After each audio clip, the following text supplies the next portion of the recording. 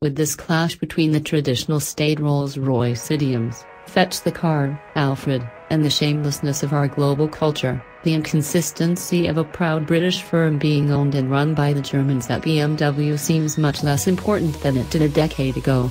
That the underpinnings of the Ghost are borrowed from a 7 Series doesn't matter. What does is the option to personalize your fitted umbrella with up to two canopy colors and a further option for the beading.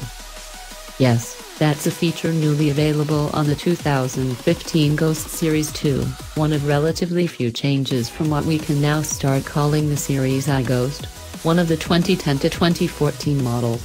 As inducements to upgrade go, the Series 2 is left wanting, although according to Rolls-Royce, that is by design. Customers who have spent large sums as recently as last month do not like to be told that their impressive Ingot has been made less impressive by a new one. Yet this new Ghost is more Ingot than before, with a front fascia that's been made to look ever so slightly more substantial by moving the grille higher and emphasizing the character lines on the hood.